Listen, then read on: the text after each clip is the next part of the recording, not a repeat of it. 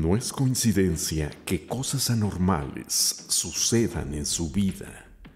¿Cuántos objetivos ya eran para haberse cumplido y aún no se han concretado?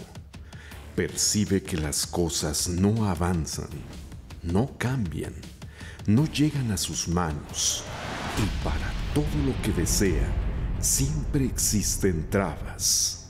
Por eso muchos buscan lugares donde cuyos resultados son siempre negativos. Llegó la hora de alcanzar su liberación.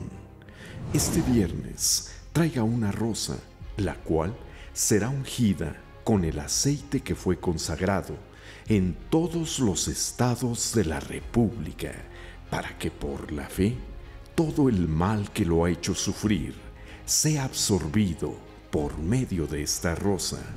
A las 10 de la mañana, 4 de la tarde y especialmente a las 7 de la noche, en el Templo de los Milagros, Avenida Revolución 253, Colonia Tacubaya, Antiguo Cine Jalisco, en la Colonia Roma, Avenida Yucatán 160, Antiguo Teatro Silvia Pinal, o en la Universal más cercana,